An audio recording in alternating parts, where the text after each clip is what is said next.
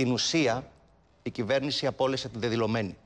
Αναφέρομαι στην ανάγκη που ένιωσε ο κύριος Κοντονής να, αποσύρει αποσύρει μια τροπολογία. ντροπιαστική τροπολογία, όπου θα έδινε τη δυνατότητα σε μια ένωση στην Ξάνθη να ονομάζεται Τουρκική Ένωση Ξάνθη. Μία κουβέντα από τον Και κύριο είναι Μπάρκα. φανερό Δυστυχώς ο ότι κύριος αυτή- Λαζαρίδης είναι δεν φαν- γνωρίζει το Σύνταγμα της Ελλάδος Ναι. πιάστηκε αδιάβαστος.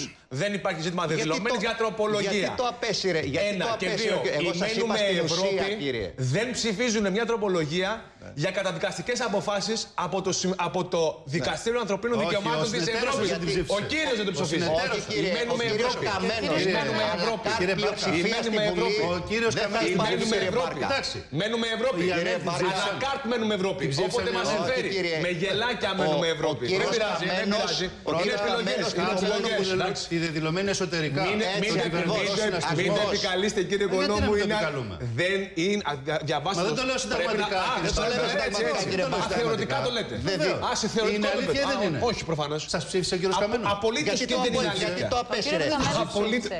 Ακόμα και η Κύριε κυρία Μπάρκα, Κασιμάτη είναι- αρνεί το να μην ψηφίσει, επικαλείστε, κύριε Τώρα Μπάρκα. μην λέμε ότι να είναι. Σα ευχαριστώ πολύ. Επίσης Με και εσείς. συγχωρείτε. Σας λέω, μην επικαλείστε τη δεδηλωμένη. Είναι Αφήστε τη συνταγματικό. Κύριε δεδηλωμένη Οικονόμου, ισχύ. Λέτε- κύριε Μιλάμε Οικονόμου, πολιτικά τώρα.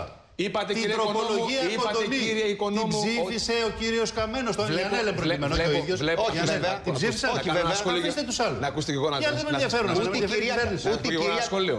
Μάλλον δεν το είχατε πιάσει από εσεί, α το πει ο κύριος Λαζαρίδης τώρα. Αλλά λέω το εξής.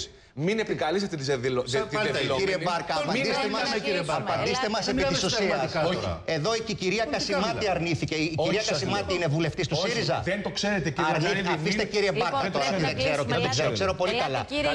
Κύριε, γιατί θα Χθες μας λοιπόν, κόψει η ροή. για να ξέρετε Ελάτε. ότι η αλακάρτ πλειοψηφία στην Βουλή Όπιστε να δεν θα ολοταχώς, υπάρχει κύριε ξανά. Σαμαρά. Αλακάρτ, μένουμε Καταλάβατε, Ευρώπη κύριε λοιπόν, Λαζαρίδη για σας. θέλετε, θέλετε Αφήστε τα απλά να τέτοια. κρατάτε την καρεκλίτσα Κύριε σας. Λαζαρίδη, Το θέμα Και είναι να αυτή η πληρώσουμε και την πραγματικότητα. τουρκική ένωση που θα Καλά, έπαιρνε καλά. Ακριβώς, νόμιμη κύριε τιμή. Οικονόμου. Ξέρετε τι έλεγε η Ε, αυτό ξέρω τροπολογία. εγώ. Για πείτε μου κύριε Το Λαζαρίδη, κύριε ξέρω εγώ. Οικονόμου, τι λέει η τροπολογία; Πρέπει Εγώ δεν να- ξέρω τι λέει η Ω, πείτε τροπολογία. μου. Λέει Παρακαλώ. ότι αν σε πρώτο επίπεδο στη Ευρωπαϊκό Δικαστήριο πάρει Μάλιστα. θετική απόφαση, Μάλιστα. μπορείς να έρθεις και στα ελληνικά και να πάρεις σφραγίδα. Υπάρχει Αυτό πήγατε να καταδικαστική, φτιάξετε. Πρέπει υπάρχει να καταδικαστική κλείσουμε, θα μας απόφαση μιλήσετε τώρα; από το Δικαστήριο Ανθρωπίνων Δικαιωμάτων. Πάμε σε Γιατί διαδικασία. σωρία αποσύρατε. καταδικαστικών. Γιατί το το αποσύρατε. γεγονός ότι η Νέα Δημοκρατία Γιατί δεν το το αποσύρατε. έφερε για, για ισοκομματικούς λόγους επειδή σε ακουμπάει διάλειμμα. στην ακροδεξιά, Πάμε, δεν πάμε σε σημαίνει ότι είναι διάλειμμα. λάθος Καλά, αυτή. το, μας εσείς κλείσετε, είστε πάμε, ένα πάμε, ακροδεξιό πάμε, κόμμα και πάμε, μιλάτε πάμε, με πάμε, μάγκα πάμε, ακροδεξιά. έβαλε Κύριε φωτιά ο Μπάρκα, Λαζαρίδης. θα πρέπει να...